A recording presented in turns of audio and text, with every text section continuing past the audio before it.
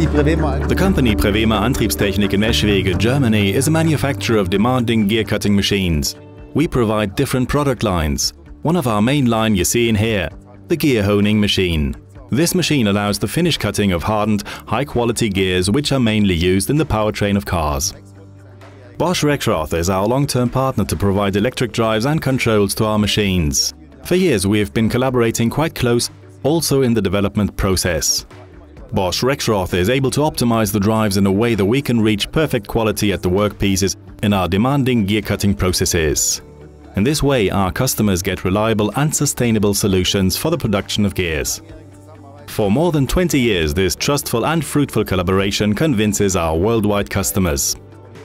The control architecture is quite open, the control itself quite fast. The calculation of different parameters is done in real time to allow various gear cutting mathematics. Our end customer demands are open architecture, connection to plant operating systems, and of course a perfect service throughout the world, where automotive or industrial gears are manufactured. Everywhere, which means South and North America, Asia, especially China, Japan and South Korea, and of course as well Europe. These machines are used successfully.